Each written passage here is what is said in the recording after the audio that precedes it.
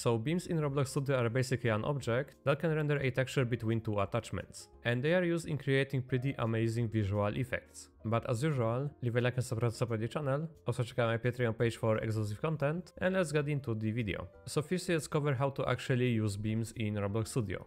And well, we need at least a base part, and then it needs to have an attachment.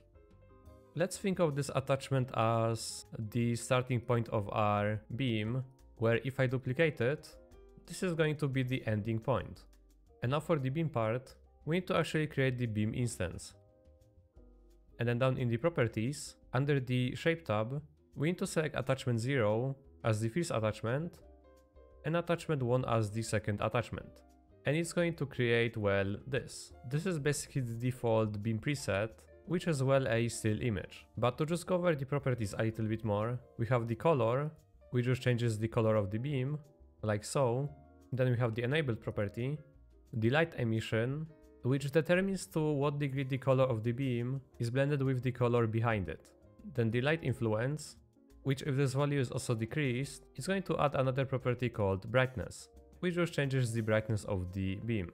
And then there is a texture which I'm going to leave for later, same with all of this stuff like the length mode and speed, but now there is the transparency which can also be a number sequence. So you can actually set it to be, for example, fully transparent in this part right here. And this just works like a normal number sequence. Then the Z offset, which is just an offset in studs to the camera. Then the data tab is pretty self-explanatory, but then there is again the shape, where we have the curve size, where if I change it, you can see that it's going to give a bezier curve from the attachment. And same with the second one. Then there is the face camera property, which is just going to make the beam always face the camera. Then segments, which just determines how much geometry there is in the beam. If I set it to for example 1, it's basically just going to be one face, created out of two triangles. But if I change it to for example 100, it's just going to be really smooth. And now there is the width, which just determines the width of the starting point of the beam. We can even make it really tall if we wanted to, but I'm just going to leave it on 1.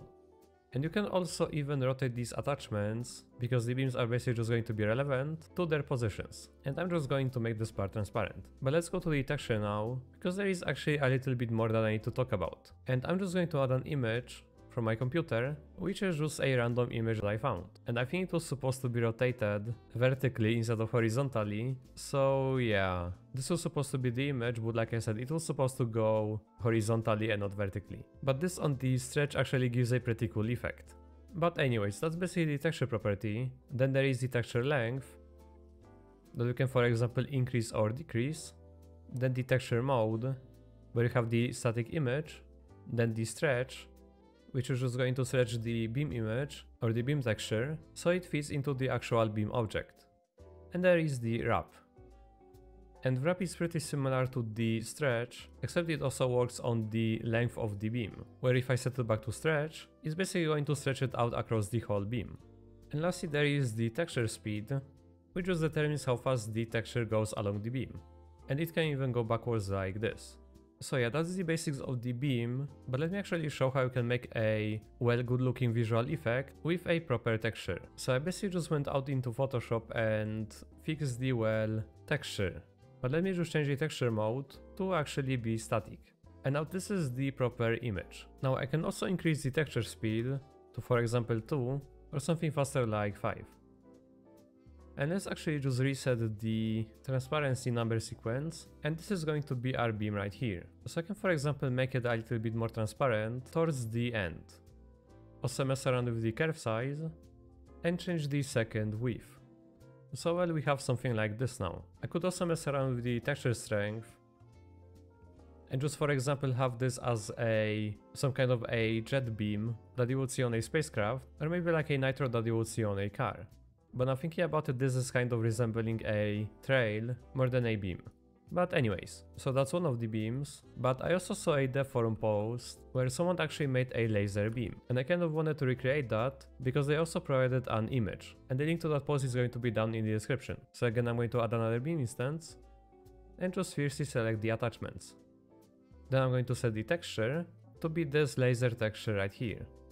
And we already have a pretty neat laser, but there is also a few different stuff that we can change.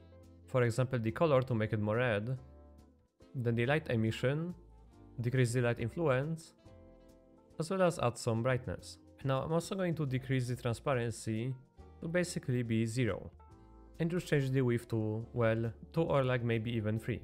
And now we can even change the texture length, or maybe even the texture speed. And now this is resembling a laser. So we basically just have this beam with, well, these properties, but let's actually just change its color to see how it looks for example when it's blue. Or maybe even orange. And yeah, I can basically just make this beam like very long and just have it pointing, well, whenever. So yeah, that's the laser. And basically, if you wanted to connect multiple beams, you would basically just do so by duplicating the attachment, and in this case I have to rename them, so it's not going to be too confusing, and basically just duplicate the beam, and just change the attachments. And I realize that this one is going in the wrong direction, so it should be like this. And now if you wanted to even change it, for it not to be a straight line, you could just mess around with the curve 0 and curve 1 properties. And same with the other beam. So now we basically just have this laser path and for a better visual effect I'm going to make the attachments not visible. And also to make the beams more smooth, I'm just going to increase the segment count. And well, now we have this laser. So yeah, you can basically see that an instance like this can be extremely powerful for visual effects. And now there is going to also be another thing that I want to show with beams, and it's something that I used previously in my other videos. And it's going to be this zone, where this beam part as you can see, is actually just a cylinder. And there are two attachments, if I make them visible, you can see that they are basically just positioned on the edges of the beam part. And there are going to be two different beams with basically just these properties. This texture is just a gradient where on the bottom it's zero transparency and on the top it's basically just fully transparent, so it's just a basic texture. And now the texture mode is going to be set to stretch, because if it were static, it would kind of make these weird visual glitches. And on this one the texture speed is set to zero, because if it was increased and moving, you basically just wouldn't see any difference. Then the transparency is whatever number sequence, but if I scroll down, there is going to be the curve size 0 and curve size 1. And for these two, you kind of have to do some math based on the size of this part. Because if I for example scale it down, the beams are basically just going to stay the same. But if I move it away, you can see that instead of a circle, we just have this well egg shape. So now this curve size would basically just have to be bigger, same with the curve size 1. And 15 is going to be a little bit off, but you basically just get the idea. It's still kind of going to be an egg. But if I scale it down a little bit, now at least it's going to resemble a circle. So yeah, that's just a thing that you have to keep in mind while for example making these zones with beams. And if you're curious on where to get the beam textures from, the first option would be to basically just use the toolbox, go to the models and search for something like, for example, beam texture.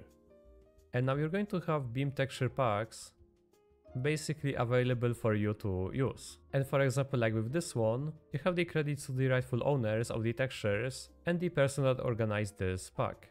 And you can see that for example you have these beam holders which have the beam instance and you can get the texture ID from right here. But yeah, there are basically just many more, like there is going to be different ones from these packs right here, but you could for example also search for something different, like maybe red VFX. And if you select one of these packs, you're also going to have these, well, objects with a lot of different VFXs. And if you, for example, just go into one of them, you can see that they use particle emitters as well as different beams. And if I were to disable some of the beams on this, well, object, you can see that they are basically just going to disappear. And just to make it a little bit easier to see, I'm just going to delete the emitter and just enable them again. So basically all of the different beams VFXs and beam textures are going to be available in the toolbox. And you can also search for them online. And I don't really have a place for that like, for example, Ambient CG, where I get materials from, so I can't really recommend anything, but if any of you guys are using some kind of a website to get these textures from, then you can just comment it down below. But yeah, that's basically going to be everything for today. So again, go check out my Patreon page and leave a like and sort to support the channel. And thank you for watching, hope everyone had a nice day and see ya guys.